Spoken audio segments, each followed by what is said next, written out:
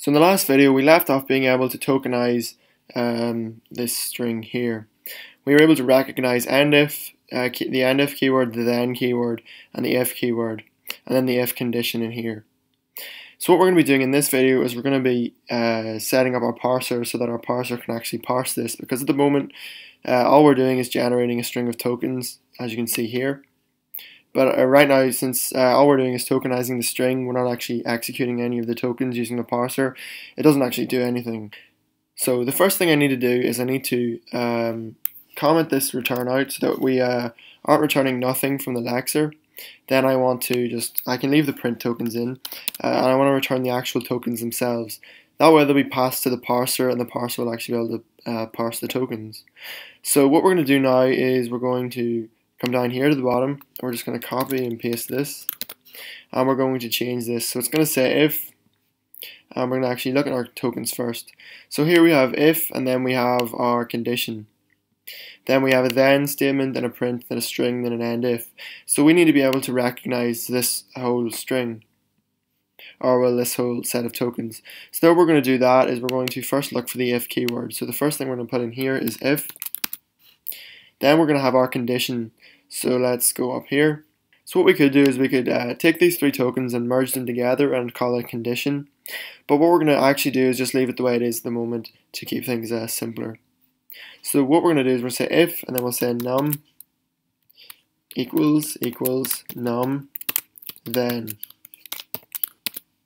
So we're going to have uh, five tokens here. So we need to say we need to get the first token, then we have the second one, and the second one is just num. So then we're uh, let's go back to terminal. So you can see the first three characters is actually the identifier of the token. Then we have a colon, then a 1. So we only want to get the first three characters because we're only identifying what type of token it is at the beginning. So what we want to do is we want to get the first three characters. Then for the equals operator, if we go here, you can see that there's no colon because there's no data attached to the equals operator. There's only uh, the actual name of the operator itself. So what we need to do is go back to um, our text editor.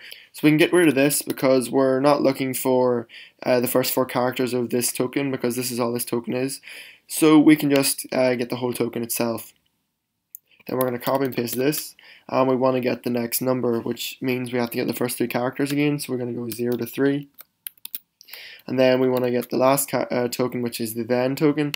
And we need to increment this by 1, increment this by 1 as well.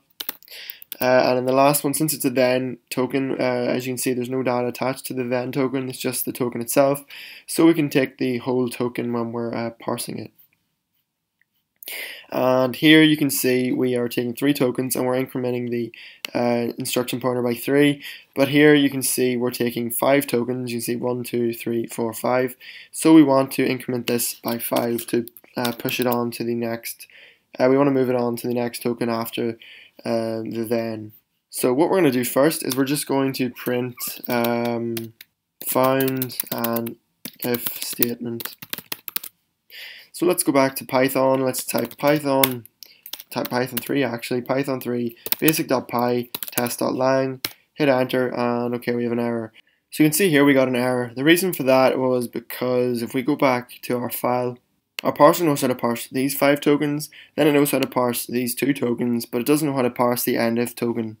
So what we can do for now is we can just uh, delete the endif token from our file uh, and we run this again, you'll see now our errors disappeared. That's because our parser now doesn't have to deal with the endif token. Now that we've uh, identified our if statement, what we want to do is we want to check the condition.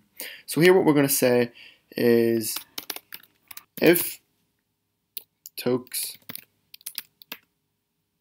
i plus 1 and this time we want to start from the fourth character and go to the end of the string. So we want to get the fourth character to the end, which is, uh, the way we do that is we access the fourth index, we put a colon at the after it, but we don't specify where we want it to stop, and that means Python will just go to the end of the uh, string, which in this case it means it'll go to the end of the token. So we want to say if the token, uh, the first number, which is this one, and we want to compare that against this one. So I want to say equals tokes i plus 3 and we want to get the fourth character to the end again. The reason we want to, we uh, go from i plus 1 to i plus 3 is because we have this double equals in the middle, which will be i plus 2. So this is i plus 1, i plus 2, i plus 3. And what we're going to say is print found a match. Uh, let's just say uh, true. Then we'll say else. Print. False. In this code now so let's uh, just hit enter and we run it. And you see we get true printed out to us. If I go back to the file uh, test.lang and I change this to a 2 I, so now I'm saying if 1 is equal to 2 then print hello world. Obviously 1 does not equal 2 so we should get false. Now you can see we get false printed out to us. So let's keep it true for the moment uh, and what we're going to say is we're actually going to put the end if back in now so let's run this again. We'll get our error again. And what we'll do is we'll go up here to the top and the first thing we'll check for is the end if. So we'll say if tokes i equals and if print find and end if. Let's just change or put this to elif.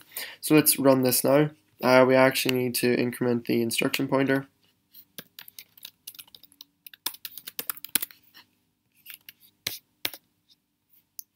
So you can see now it says find an end if and the errors disappeared. So what we're going to do is we're just going to delete that print for now and we're just going to leave it like this. So this basically means that our end if does nothing but it prevents our error from displaying. We run it again, you can see we here's our tokens. Here's the result of our if condition. And here is what uh, the next token in the list after our if statement.